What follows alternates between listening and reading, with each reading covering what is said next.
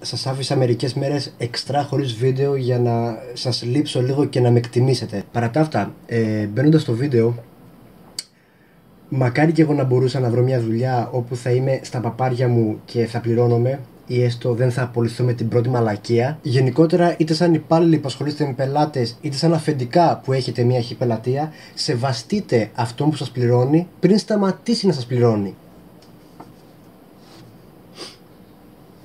Χαίρετε, Αλάνια. Πρώτο παράδειγμα. Είχα κανονίσει εχθές να πάω κάπου, εχθές τότε πριν από 15,5 αιώνες που είχε γραφτεί το κείμενο. Πάω στη στάση να πάρω λεωφορείο και συνειδητοποιώ ότι ο ΑΣΤ έχει απεργία. Και το ερώτημα είναι το εξής. Όσο και αν δεν σε πληρώνουν, όσο άσχημες και να είναι συνθήκες εργασίας σου, γιατί πρέπει να την πληρώσω εγώ, που στην τελική είμαι αυτός που σε ταΐζει. Το γαμοεισιτήριο το χτυπάω ή δεν το χτυπάω όταν μπαίνω στο μπουρδελολεφορείο σου, ακόμη και αν άργησε τέσσερα χρόνια να έρθει και έχω βγάλει φλίκτενες; Αν έχεις πάνω από το κεφάλι σου προϊσταμένους αφεντικά ή πολυμετόχους ή ό,τι σκατά που είναι λίγο νταβατζίδες και δεν θα πληρώνουν το μερίδιο που σου αντιστοιχεί ή σε έχουν να δουλεύει σε άθλιες συνθήκες εργασίας, τα παραπονάκια σου σε αυτούς. Μη γάμα σε μένα. Διότι πρώτον είσαι Θεσσαλονίκη όπου δεν υπάρχει άλλη συγκοινωνία εκτός από τα λεωφορεία. Δεν είμαστε Αθήνα να έχουμε τραμ, μετρό, τρόλεϊ, γαμημένο σαμαρωμένο jetpack, σαμαρωμένο ελέφαντα και τελεφερικ. Εδώ πέρα, αν δεν έχει λεωφορεία, πάμε στο επόμενο σενάριο που είναι το ταξί. Όπου όμως το ταξί για να σε πάει στον προορισμό σου, για πληρωμή χρειάζεται το ένα από τα νεφρά σου. Οπότε, ας το γάμισε εδώ, θα πάμε τα πόδια.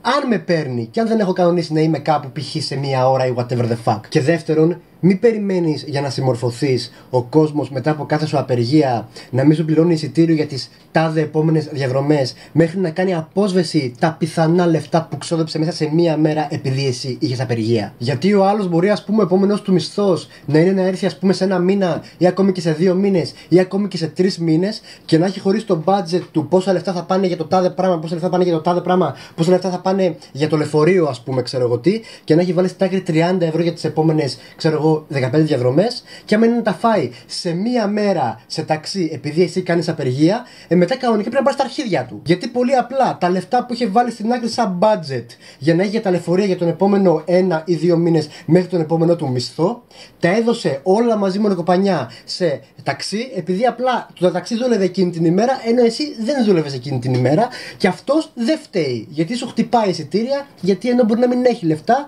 έβαλε στην άκρη ένα budget για να έχει να σου πληρώσει τα εισιτήρια εισιτήρια για τον επόμενο ένα μήνα. Τώρα όμως δεν υπάρχει αυτό το budget γιατί δόθηκε σε ταξί. Δεν τα βρίσκουμε στο δρόμο τα λεφτά, φίλε. Δεν υπάρχουν ούτε λεφτοπηγές, ούτε λεφτόδεντρα, ούτε λεφτονεράιδες των λεφτών ή ό,τι κατά μπερδεύτηκα ή ό,τι κουράδες. Που στην τελική θα μπορούσαμε να το κάνουμε κιόλας αυτό να μην σε πληρώνουμε τα επόμενα τάδε εισιτήρια για τις επόμενες τάδε διαδρομές για να κάνουμε απόσβεση τα λεφτά που φάγαμε στο ταξί. Που αν το κάνουμε αυτό, εσένα θα σε βάλουν χέρι τα αφεντικά σου και θα σε απογορέσουν να κάνεις απεργία. Κατάλαβες γιατί μπορούν, γιατί είναι αφεντικά. Και εμάς θα μπορούσε κάλλιστα να μην μας ξυθεί το παπάρι για αυτό, όπως εσένα δεν ξύνεται το παπάρι που μας γαμάς. Γιατί όπως εξήγησα πριν, η δικιά σου απεργία για εμάς, ανάλογα με το τι έχουμε κανονίσει εκείνη την ημέρα, μπορεί να είναι τεράστιο χρέωμα. Ή, just saying, εναλλακτικά, αν θέλεις να κάνεις την κολαπεργία σου και να γαμίσεις τον επιβάτη που σου πληρώνει το μισθό σου ως παράπλευρη απώλεια της απεργίας σου, τουλάχιστον να τον ενημερώνεις επαρκώς ότι θα παίξει απεργία τις τάδε μέρες κλπ. κλπ, κλπ. ώστε να κάνει τα κουμάντα του και είτε να μην κανονίσει κάτι εκείνη την ημέρα ή εκείνες τις ημέρες, ή να έχει κανονίσει εκ των προτέρων να έχει ήδη έτοιμο κάποιο άλλο μέσο και να μην χρειάζεται να δώσει φου λεφτά σε ταξί, ή τέλος πάντων να ξέρει ότι θα χρειαστεί να δώσει λεφτά σε ταξί για να μην πρέπει να γυρίσει πίσω σπίτι να πάρει λεφτά και ό,τι κατά. Γιατί ούτε όλοι περνάμε μέρα παραμέρα από τις τάσεις που έχουν στου ηλεκτρονικούς πίνακες για να δούμε αν και πότε κάνεις απεργία, όπου παρένθεση, όταν γράφεις για απεργία σε αυτές τις μαλακές της στάση, βάζει με κάποιο τρόπο να κάνει μπαμ ότι αυτό είναι σημαντικό και πρέπει να διαβαστεί για να κάνουμε τον κόπο να το διαβάσουμε, κατάλαβες.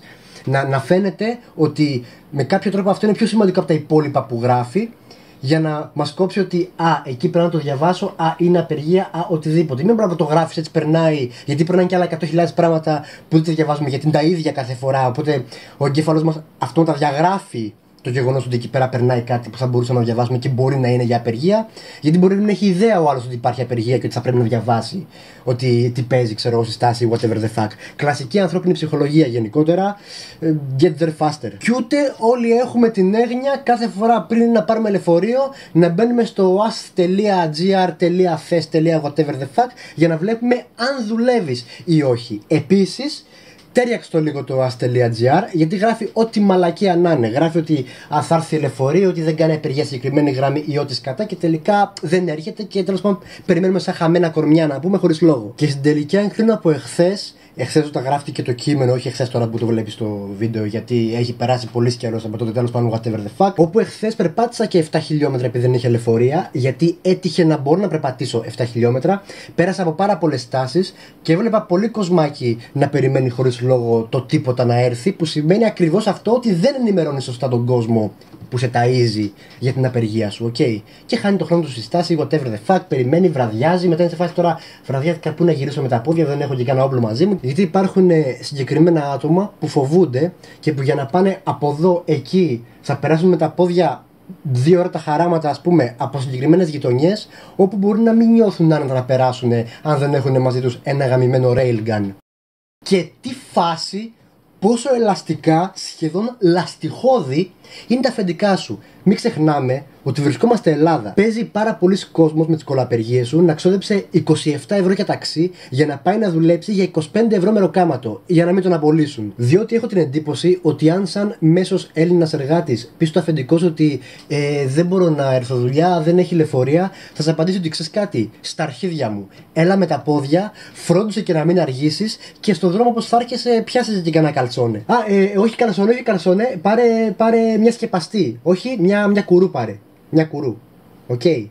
Βασικά, όχι, γάμησέ το, καλτσόνε πάρε. Και εσύ μεν κάνεις απεργία να πούμε για να διεκδικήσεις τα δικαιώματα που σου αφαίρεσαν. Λες και δεν μένεις Ελλάδα. Που αναρωτιέμαι κιόλας, άραγε, τι ποσοστό των Ελλήνων εργαζομένων μπορεί όντως να κάνει απεργία; Και δεν θα απολυθεί με το που σκεφτεί να κάνει απεργία, έτσι. Δηλαδή και μόνο το γεγονός του ότι μπορείς να κάνεις απεργία δείχνει ότι λίγο πολύ οι, οι συνθήκες εργασίας σου και τα δικαιώματα, τα εργασιακά, και τα εργασιακά σου δικαιώματα είναι και λίγο πιο πάνω από τον μέσο όρο της χώρας, ok. Για να μην μιλήσω για άλλο μαγαζί, αφού του πάρα πολλά άλλα μαγαζιά, γιατί ε, αναγκαστικά τώρα μην κρατήσει το βίντεο 8 μέρες, που μαλάκα δεν είχαμε ίντερνετ και τηλέφωνο για καμιά 20 μέρες. Παρένθεση, στο κείμενο έγραψε 20 μέρες, τελικά ήταν αισθητά λιγότερο γιατί είχα γράψει πολύ νωρίς το κείμενο και δεν είχα δει ότι τελικά ε, δεν θα το φτιάξω μέσα στις 30 του μηνός, αλλά στις 25 ή οτιδήποτε. Τέλος πάντων, και αν τους λέγαμε ότι στην επόμενη πληρωμή δεν θα την πάρουν ολόκληρη, αλλά μισή, θα ξυνίζαν κιόλας. Και άντε μετά να τους εξηγήσεις ότι αν για τον μισό μήνα δεν είχα τις υπηρεσίες για τις οποίες σε πληρώνω, άρα θα πάρεις την μισή πληρωμή. Αυτό που ο μήνας κιόλας είναι πληρωμένος προκαταβολικά. Από την αρχή του μήνα είναι πληρωμένος. Καταλαβέ. Οπότε θα βγει η πληρωμή από τον επόμενο μήνα. Γιατί σου λέει πρώτα θα πληρώσεις και μετά θα δώσουμε τις υπηρεσίες μας. Είναι πολύ εύκολο όμως κιόλας να σου πει: OK, στον επόμενο μήνα θα πληρωθείς το μισό.